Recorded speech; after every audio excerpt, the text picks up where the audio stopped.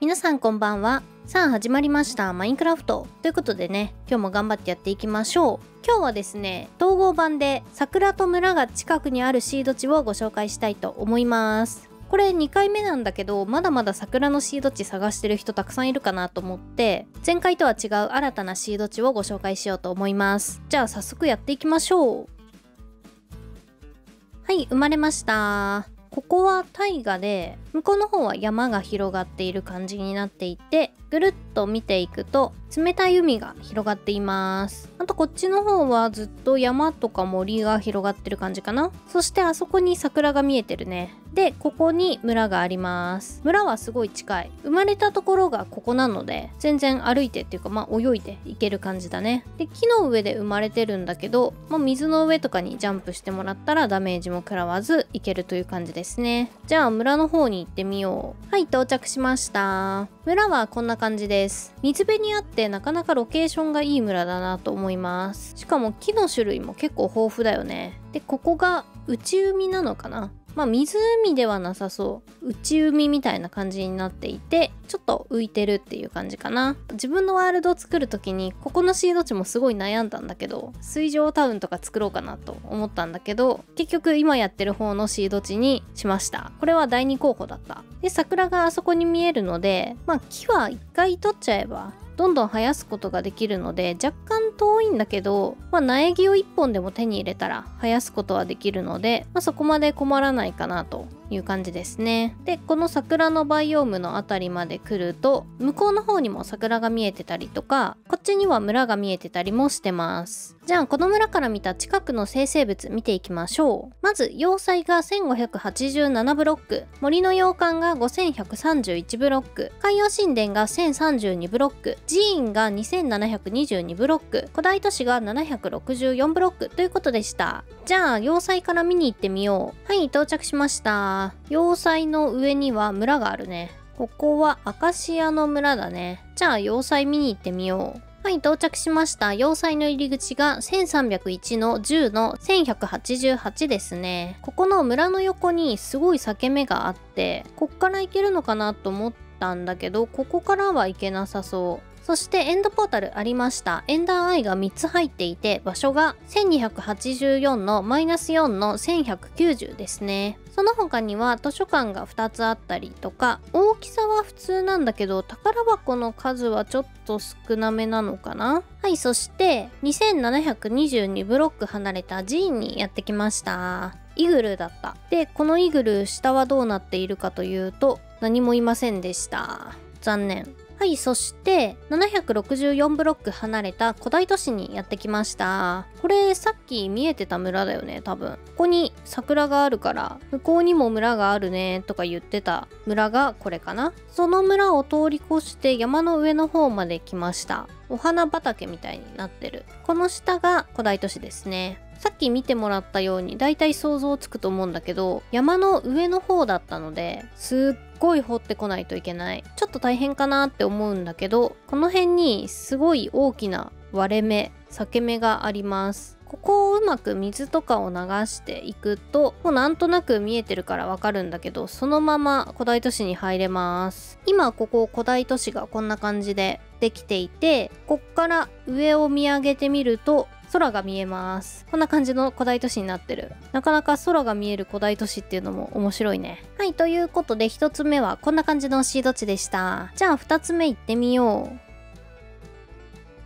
はい、生まれました。ここは普通の森で向こうの方が冷たい海で氷のバイオームがあるね。でぐるっと見てみると海が続いていて村がそこにあります。でちょっと遠いんだけど桜のバイオームがあってそのすぐ下に村があるね。あとは森と氷が続いていってる感じなのかな。じゃあ村を見に行ってみよう。はい到着しました。村はこんな感じです。平原の村で段差はちょっとあるんだけどまあ許容範囲な感じの段差なのかなと思いいます。ここだけちょっと直した方がいいかもね。あとは村の横にすごい大きな穴が開いてるのでこれは注意しないといけないね。でここまで来たら桜がそこですね。桜まではちょっと歩かないといけないけど土地はいっぱいあるからこの辺にたくさん植えれそうだね。この辺はお花畑になってるからお花もたくさん取れるし桜も割とたくさんありそうだね。もう一つの村はちょっと高低差のある村になっています。じゃあこの初めの村から見た近くの生成物見ていきましょう。まず要塞が1781ブロック。森の洋館が4985ブロック。海洋神殿が706ブロック。寺院が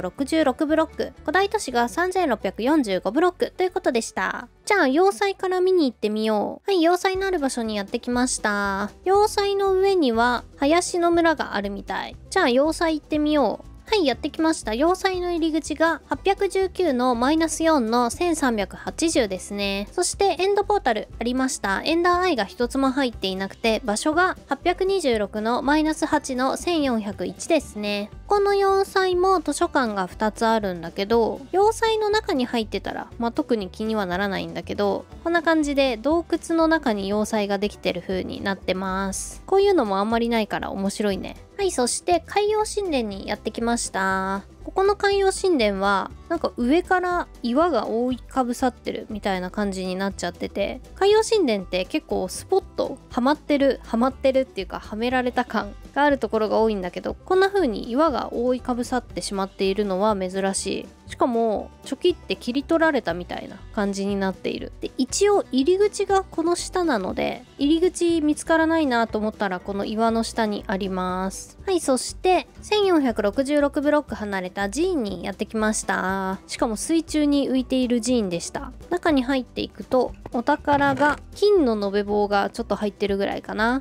そして隠しチェストの中身もしょぼかった残念な寺院だねはい、はじめの村に戻ってきました。2つ目のシード地はこんな感じのシード地でした。じゃあ3つ目行ってみよ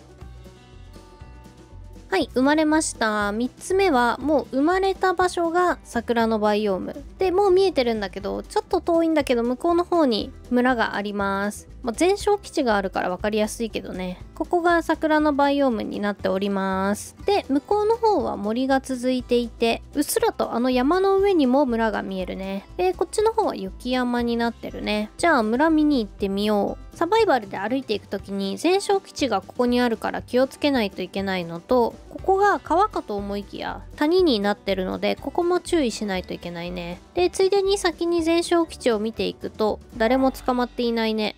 こっちは作業台だけだね。はい、村に到着しました。この村ね、若干こんな風に裂け目というか、段差があったりとかしてて、こっちの方も若干段差があって、ちょっとデコボコしてる村なんだよね。でもまあスポン地点からもそんなには遠くないと思うし桜のバイオームも結構近いし鍛冶屋さんもあるのでチェストの中が鉄の延べ棒一つとダイヤモンド。うん、あんま良くないけど、まあ、ないよりはいいでしょう。という感じになっております。じゃあ、この村から見た近くの生成物見ていきましょう。まず、要塞が3221ブロック。ちょっと遠いね。森の洋館が6839ブロック。海洋神殿が1350ブロック。寺院が1007ブロック。古代都市が2629ブロックということでした。じゃあ、要塞から見に行ってみよう。3000ブロック離れた要塞にやってきました。ちょっとだけメサがある。で、ここに村があるね。じゃあ要塞見に行ってみよう。はい、要塞にやってきたのですが、不穏な空気が流れている。これはもしやエンドポータルがない。しかも宝箱も一つもないと。めちゃめちゃ残念な要塞だ。結構遠かったのにね、他にないのかな。スポーン地点が要塞から2725ブロック離れたとこだったんですけど、そこからさらに1500、2000ブロックぐらい離れたところまで来たんだけど、それでも同じ要塞しか検索されなかった。4000ブロック離れた要塞って、なかなか要塞が全然ないワールドなのかなもしかしたら検索に引っかからないけど、エンダーアイは反応するみたいな要塞があるのかもしれない。ちょっと今回は発見できずでした。はい、そして1007ブロック離れた寺院にやってきました。またジャングル寺院だった。中見てみよう。お宝はテンプレート入ってるじゃん。密林風の装飾。そして隠しチェストの方にもテンプレート入ってるね。あとは鉄と金が入ってました。ここはジャングルだから1000ブロックぐらいならジャングルがあるっていうことだね。ジャングルの木とか竹でも建築ができるようになったから竹とかも取りに来れるね。はい、はじめの村に戻ってきました。はいということで3つ目のシード値はこんな感じのシード値でした。じゃあ最後行ってみよう。はい生まれました。ここはちょうど普通の森とジャングルの境目ぐらいの場所なんだけどめっちゃ向こうの方にめっちゃかすかに村が見えます。あの村じゃなくってぐるっと見ていくとこっちの方はずっとジャングルが続いてるね。あと白樺と多くの森が続いていて村がすぐそこにあります。で桜もすぐそこにあるね。じゃあ村に行こう。はい村はこんな感じです。ちょっと森に食い込んでるっていう風になってるので木とかは切ったりしないといけないんだけどあと段差も若干はあるんだけどまあそこまでどうにもならないほどの段差ではないかなと思います。で桜はそこだね。ここも桜はたくさんあるし土地もたくさんあるから桜をあそこに取りに行ってもいいしちょっと持って帰ってきて空いてるスペースにたくさん埋めるっていうのも全然できそうだね。一応ここの桜はこの一角だけなのかな？ここは村も近いし桜もすぐ手に入るしジャングルの方に行ったら竹もすぐ手に入るので新要素で建築したいっていう方にはとてもいいんじゃないかなと思います。じゃあこの村から見た近くの生成物見ていきましょう。まず要塞が664ブロック。今度はめっちゃ近い。森の洋館が9718ブロック。海洋神殿が2234ブロック。寺院が1322ブロック。古代都市が910ブロック。ということでした。じゃあ要塞から見に行ってみよう。はい要塞のある場所にやってきました。アカシアの村がここにあるということはさっき向こうの方で生まれててここに桜があるっていうていう話をしてたんだけどうっすらと村が見えてるよねって言ってたところに要塞があるっぽい。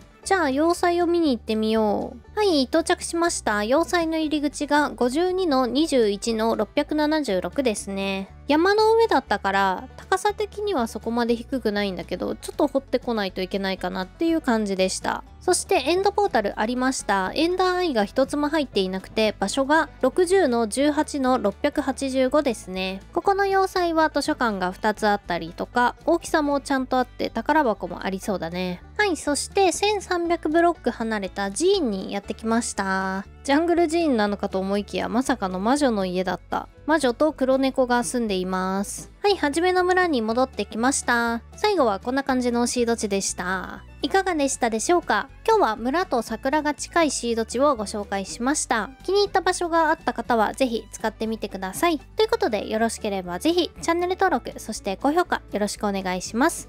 他にも動画たくさん上げてますのでぜひそちらもご覧ください。それではまた次回の動画でお会いしましょう。バイバーイ。